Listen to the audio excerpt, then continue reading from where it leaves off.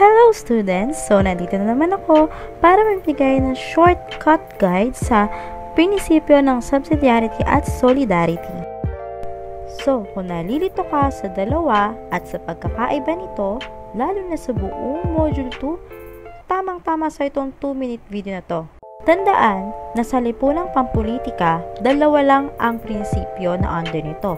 Ang prinsipyo ng subsidiarity at prinsipyo ng solidarity.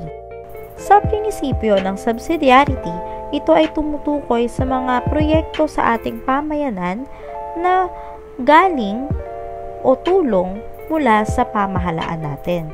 So, nandyan ang mga halimbawa katulad ng 4Ps, pampublikong paaralan, at mga health centers. Sa prinsipyo naman ng solidarity, tumutukoy naman ito sa mga proyekto sa ating pamayanan na mula sa ating pagtutulungan bilang isang mamamayan. So, kaya tinutukoy nito ay yung pagkakaisa natin bilang isang mamamayan. So, yan yung mga halimbawa, bayanihan, voluntarismo sa kuna at yung ambagan. So, tandaan, sa subsidiarity, yung mga proyekto at tulong ay galing sa ating pamahalaan at sa solidarity naman, tayo mismo ay gumagawa ng sarili nating proyekto na walang tulong sa pamahalaan upang matugunan ating pangailangan.